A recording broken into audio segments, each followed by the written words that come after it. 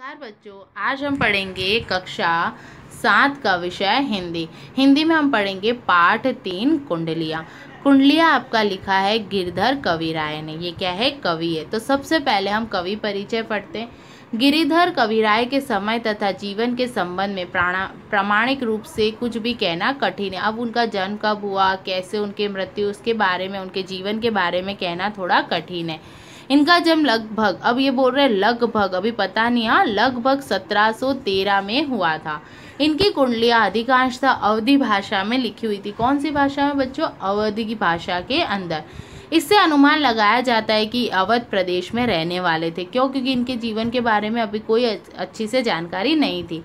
गिरिधर कवि राय ने 450 से अधिक कुंडलियाँ लिखी। अब गिरिधर कवि राय ने कितनी कुंडलियाँ लिखी बच्चों? 450 से भी अधिक। इनकी कुंडलियाँ अत्यंत लोकप्रिय है, लोगों की प्रिय। इन लोकप्रियता का कारण है, इनकी कुंडलियों में व्यवहारिक जीवन के लिए अत्यधिक महत्वपूर्ण बातों का बोध। बोध मतलब उन्होंने ज्ञान कराया है हमारे व्यवहारिक जीवन के बारे में। नीति विषयक बातों का उन्होंने सरल और सीधी भाषा में वर्णन किया है। इनकी कुंडलियों में नीति की परंपरागत बातें तथा अनुभव पर आधारित नई बातों का भी क्या हुआ है बच्चों? समावेश हुआ है। तो देखो, यहाँ पर आपको दे रखी है तीन कुंडलियाँ, दे रखी है क्या दे रखी है बच्चों? तीन। पहली है, बिना विचारे जो करे, सो पाछे पछताए, काम बिगाड़े अपना, जग में होत हंसाए। जग में होत हसाए चित में चैन न पावे। खान पान सम्मान, राग रंग मन ही न भावे। कह गिरधर कविराय, दुख कछुक टरत न टारे।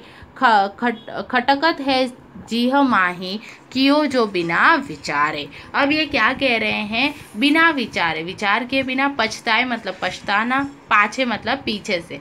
हंसाए मतलब हंसना। चैन मतलब कहीं भी अच्छा ना लगना।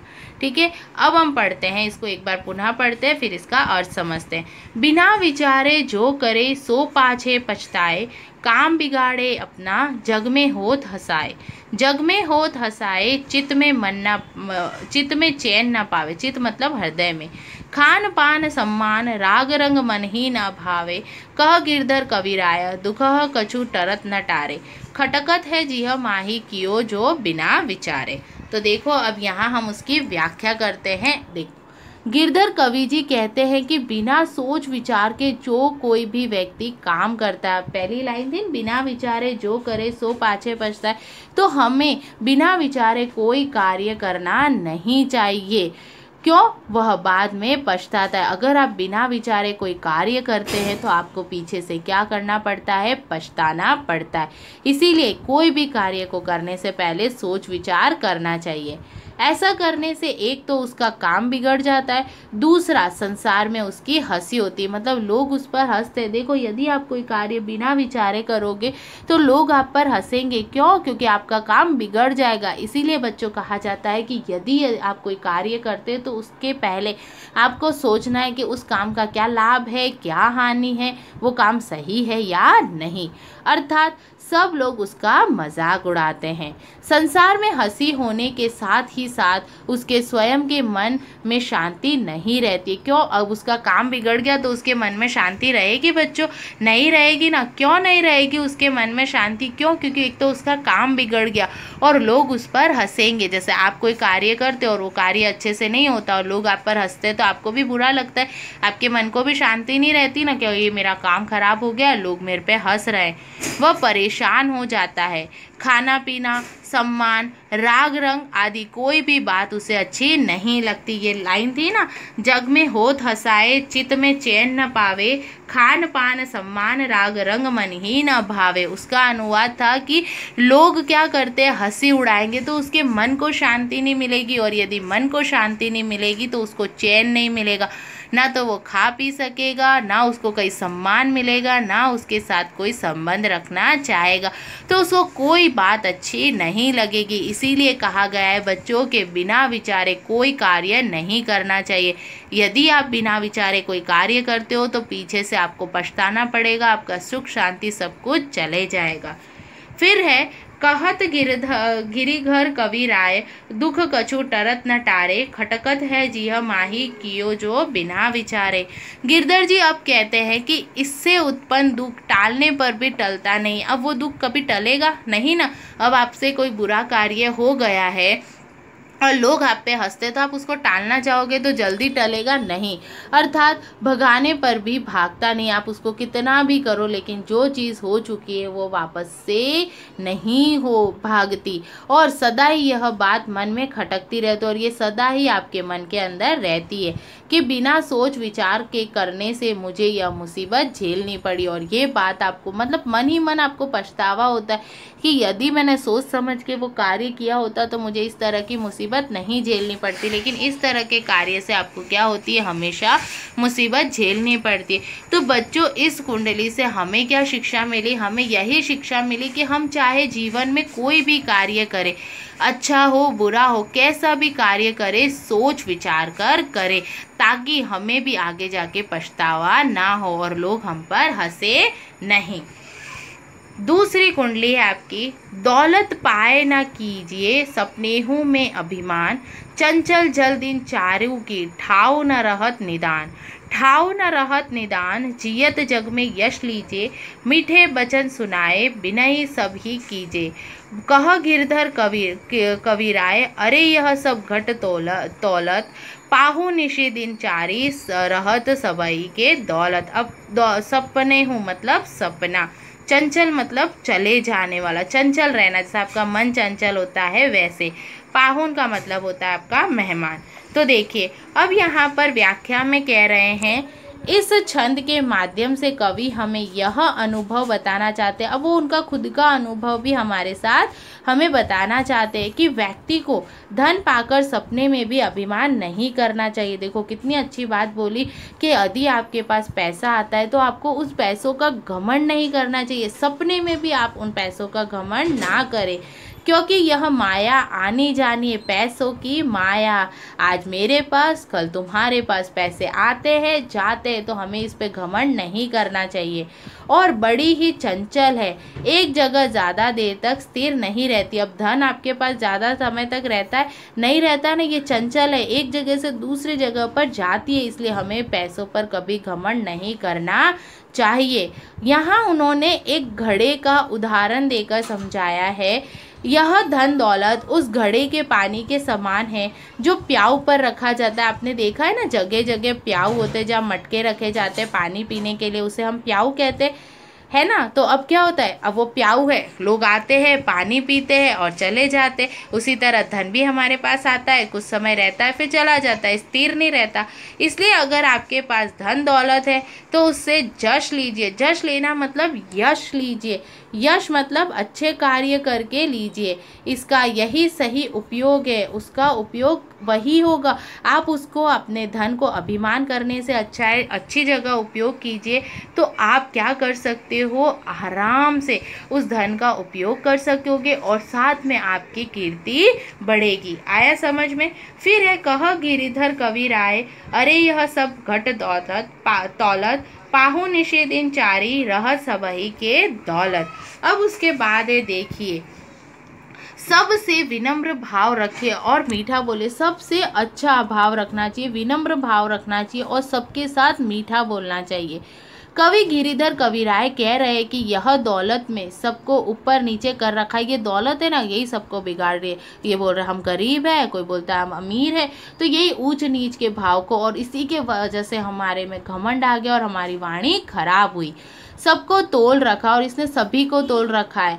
यह माया उस अतिथि मेहमान की तरह है जो चार दिन तक रहता है। अब देखो बच्चों, आपके घर पे कोई मेहमान आता है, अतिथि आते वो कितने दिन तक रहते हैं? दो चार दिन के लिए रहते हैं तो पैसा भी उसी अतिथि के समान है, वो आपके पास ज़्यादा दिन तक नहीं रहता। पर आखिर अपने घर जाता है। वो जिसका है, उसके पास जाता है, बारी बारी से। इसी प्रकार की यह माया उसके लिए चार दिन की मेहमान है और ये जो माया है पैसों की, वो आपके पास कितने दिन की मेहमान है? चार दिन की मेहमान के बराबर है। तो अभिमान किस बात का तो हमें बच्चों अभिमान नहीं करना चाहिए। तो इस वाले जो छंद है या कुंडली, उससे हमें क्या शिक्षा मिली? हमें यही शिक्षा मिली। चाहे हमारे पास धन हो, हम उसको अच्छे काम में उसका उपयोग करें। कभी कभी उसी के ऊपर अभिमान नहीं करना चाहिए, क्योंकि ये चंचल है। आज मेरे पास, कल तुम्हारे पास, फिर किसी और के पास। इससे हमें हमारे संबंधों को बिगाड़ना नहीं चाहिए। जिस तरह चार दिन मेहमान आकर अपने घर जाते हैं, उसी तरह धन भी क्या करता है? थोड़े समय हमारे पास रहता है, फिर किसी और के पास। तो हमें हमारे धन पर अभिमान नहीं करना चाहिए। हमारा अंतिम छंद, अंतिम कुंडली है इस पाठ की। साई अपने चित्त की भूली न कहिए कोई, तब लगी मन में राखिए जब लगी कारज होए। जब लगी कारज होए, भूली कबहू नहीं करिए कहिए, दुर्जन तातो होए, आप सियरे हे रहिए। कह गिरधर कविराय, बात चतुरन के ताई करतूती कही देत, आप कहिए नहीं साई ठीक है, अब देखो, यहाँ पर हम इसका अनुवाद देखते हैं। कवि गिरधर कहते हैं कि अपने मन की भूल किसी को बतानी नहीं चाहिए। क्या बोल रहे हैं कि अपने मन की जो भूल है वो किसी को बतानी नहीं चाहिए? यदि आपसे कोई भूल हुई है तो उसे मन में ही रखना चाहिए। यदि आपने कोई भूल की है तो उसको क्या करना चाहिए बच्चों? मन में ही रखना चाहिए। किसी को बतानी नहीं चाहिए। इससे कोई दुर्जन आप पर हंसेगा नहीं। जो दुर्जन मतलब क्या होता है बच्चों? जो बुरे व्यक्ति होते हैं। दुर्जन मतलब जो बुरे व्यक्ति होते हैं, वो आप पर हंसेंगे नहीं। इसीलिए आपको क्या करना है यहाँ पर? अपनी गलती को अपने तक सीमित रखना है। गिरधर कहते हैं, इसी में समझदारी है। चतुराई चतुराई का मतलब क्या होता है? समझदारी। क्योंकि मनुष्य की करतूत सब कह देती है। जो मनुष्य जो कार्य करता है, वो उसकी करतूत सब कह देती है। आप खुद से कुछ मत बोलिए, आपको कुछ नहीं कहना है। तो तात्पर्य यह है कि आप अपनी गलती सबको मत बताइए। वरना जो बुरे लोग हैं, वो आप पर क्या करेंगे? हंसेंगे। और आपको क्या करना है बच्चों? दुर्जन व्यक्ति से हमेशा, दुर्जन व्यक्ति से हमेशा दूर रहना चाहिए। रहना चाहिए। क्यों? क्योंकि आपकी गलती पर वो हमेशा हंसेंगे ही। आया समझ में? तो इस वाले क्षण से हमें क्या शिक्षा मिली? हमें यही शिक्षा मिली कि हमसे जो कोई गलती होती है तो वो हमको सबको नहीं बतानी चाहिए और हमको खुद से उसको क्या करना चाहिए? सुधारना चाहिए। आया समझ में? यहाँ पर आपके शब्दार्थ दे रखे हैं। उत्तर यहाँ प्रश्न उत्तर है। अभ्यास आपको कॉपी में लिखना है। जैसे बिना विचारे काम क्यों नहीं करना चाहिए? तो लोग हंसेंगे अगर करेंगे, पश्चाताप करना पड़ेगा।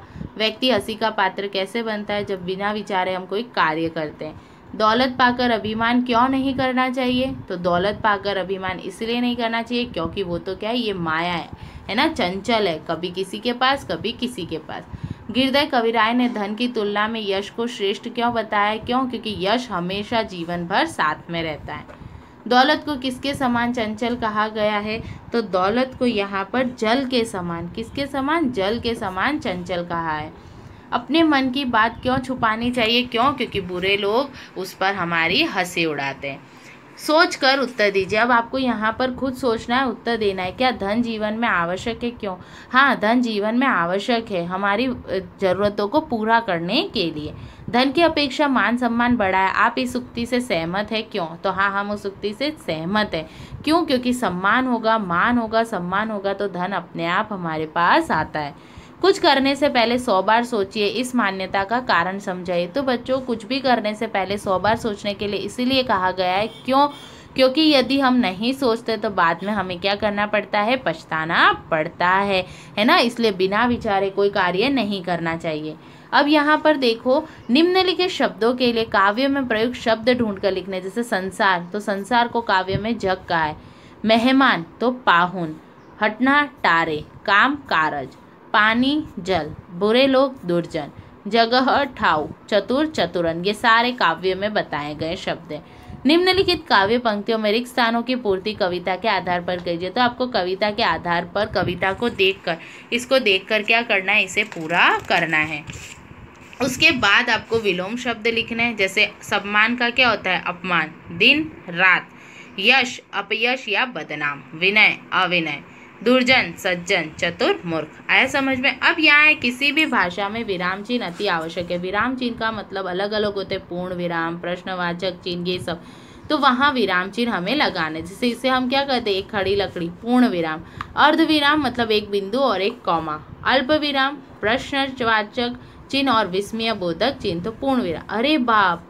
कब आए? अरे तो अरे में आपका क्या हो जाएगा? यहाँ पर कौन सा आएगा? विस्मया बोधक चिन्ह। एक ऐसी लकड़ी नीचे बिंदु और फिर यहाँ पूर्ण विराम। माँ, बेटा, मन लगाकर काम किया करो। माँ क्या कहती है? तो पूर्ण विराम। हे ईश्वर, शक्ति दो। तो हे के बाद क्या आएगा बच्चों? अल्प विराम, फिर ईश्वर, शक्ति दो। वह परिश्रमी, ईमानदार, स्वस्थ और सुंदर है। यहाँ आ जाएगा। वह क्या करता है, क्या सोचता है, यह जानना आवश्यक है। तो यहाँ क्या आ जाएगा? वह क्या करता है? प्रश्न, क्या सोचता है? प्रश्न यह जानना आवश्यक है पूर्ण विराम तो ये आपको क्या करना है बच्चों? अभ्यास अपनी कॉपी के अंदर करने हैं। आया समझ में? और साथ ही साथ इसके भावार्थ जो मैंने आपको बताए, वो भी लिखने हैं। धन्यवाद बच्चों।